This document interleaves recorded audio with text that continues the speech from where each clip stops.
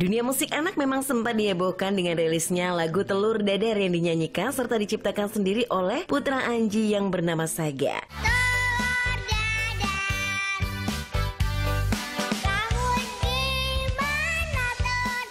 Namun di sisi lain, Putri Posan Tobing, Kimi rupanya juga mempunyai bakat yang serupa.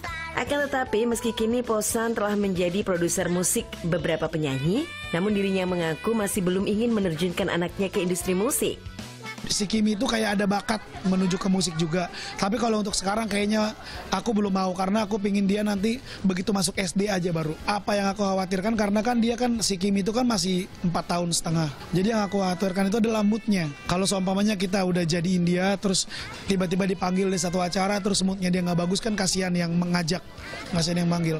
Tapi aku yakin kalau dia nanti udah SD dia udah ngerti gitu. Nah di situlah aku baru mau.